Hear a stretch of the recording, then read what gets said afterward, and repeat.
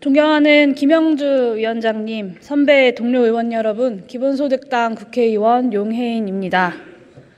전원위원회는 실패했습니다. 나흘간 전원위원회를 지켜보면서 자괴감만 들었습니다. 진지한 수기 과정이 아니라 남는 것 없는 말잔치로 끝나고 있습니다. 아무것도 합의된 게 없는데 전원이 끝나고 며칠 새에 합의안을 만들고 이를 통과시키는 졸속 입법을 개혁이라고 부를 수 있겠습니까? 선거제도 개혁이 그렇게 번개불에 콩 구워 먹듯 추진할 만한 사안입니까? 가능하지도 않고 가능해서도 안 됩니다.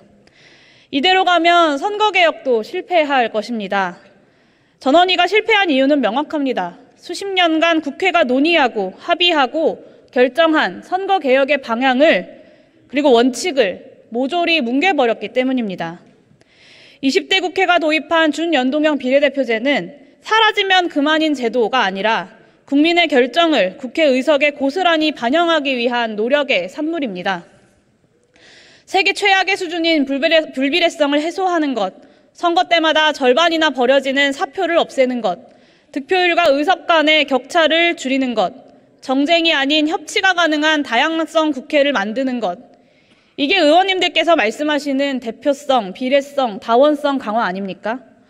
언제부터 중대선거구제 도입, 심지어는 병립형 비례대표제로의 회기가 선거제도의 본질이 되었습니까? 의원 정수 축소, 비례대표 폐지 같은 원칙 없는 주장을 어떻게 뻔뻔스럽게 말하고 계십니까? 부끄러운 줄 아셔야 합니다. 솔직히 말씀하십시오. 선거제도 개혁이 이대로 좌초되어서 거대 양당의 의석 독식, 적대적 공생이 계속되길 바란다고 말입니다. 의원 정수 줄이자, 비례대표 줄이자, 폐지하자 말씀하시는 분들 몇 표나 받으셨길래 그러시는지 세어봤습니다.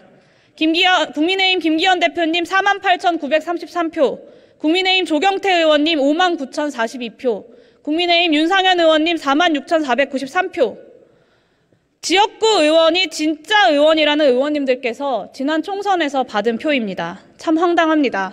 21대 총선 비례대표 의원이 한 명당 받은 국민의 표는 50만 표가 넘습니다.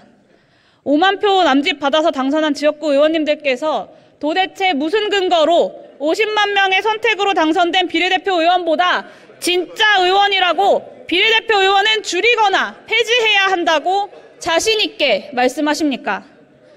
지역구 의원님들은 자신의 이름을 걸고 당선되었고 비례대표 의원들은 정당의 이름을 걸고 당선되었다는 말도 사실이 아닙니다. 그럼 지역구 의원님들은 정당 없이 당선되신 것입니까? 다들 현재의 양당 체제에 기반해서 지역구에서도 정당의 국회의원으로 당선되신 분들이 여기 모여 계신 것 아닙니까? 의원님들께서 진정으로 두려워하시는 건 승자 독식의 지역구 중심 선거제도로 공고하게 유지되어 온 거대 양당의 기득권이 무너져 내리는 것 아닙니까?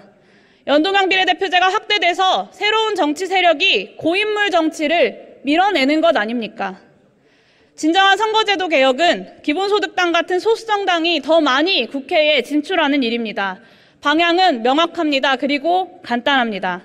정당 득표율이 그대로 의석에 반영되도록 연동형 비례대표제를 강화하고 비례 의석을 확대를 위해 국회의원 정수를 확대합시다. 소수정당의 의회 진입 문턱을 낮춥시다. 3% 봉쇄 조항을 1%로 낮춥시다. 1%의 국민, 50만 명이 지지하는 정당이라면 그 국민의 목소리를 대표하기 위해 일할 자격은 충분합니다. 새로운 가치, 소외된 국민을 대변하는 여러 정당이 국회에 진입해서 서로 공존하고 견제하는 것, 그것이 정치 개혁입니다. 민주당 말고 국민의힘 말고 이 두 당과 정책과 노선 차이 없는 이름만 다른 정당 말고 새로운 대안 정당이 있어야 고인물 정치의 긴장도, 견제도, 견인도 가능합니다. 소수 정당이 있어야 기, 득권 정치에 소외되었던 누군가의 정의도 대변될 수 있습니다. 부디 선거제도의 역사와 원칙을 다시 되새겨 주시기를 부탁드립니다. 비례성, 대표성, 다양성 보장을 향한 확실한 방향은 연동형 비례대표제의 강화입니다. 그리고 기성의 기득권을 내려놓고 진입장벽을 낮춰야 70년 보수양당 체제를 끊어내고 진짜 다당제가 가능합니다. 그것이 아니라면 차라리 안 하는 게 낫습니다. 이상입니다.